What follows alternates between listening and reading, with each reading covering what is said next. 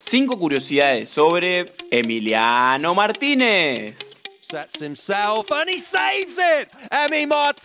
El apodo Dibu se lo pusieron en la pensión de Independiente. Cuando llegué era un poco coloradito con pecas y me empezaron a decir que me parecía al dibujito. Contó, antes de llegar al rojo fue rechazado por Bober. Se fue a probar ambos clubes, no quedó y en 2020 afirmó que, de volver al país, será solo al equipo de Avellaneda. Su contrato con el Arsenal contenía un bono por aprender inglés en cuatro meses. El arquero argentino más caro de la historia se lo propuso y ganó las 20.000 libras extra. En su primera temporada con Aston Villa fue elegido como el MVP del equipo e igualó el récord histórico del club con 15 vallas invictas. En la final de la FA Cup del año pasado contra Chelsea se generó polémica cuando agarró una pelota en el borde del área. Ya con el título, posteó que su mejor momento en Wembley fue agarrar un Pokémon.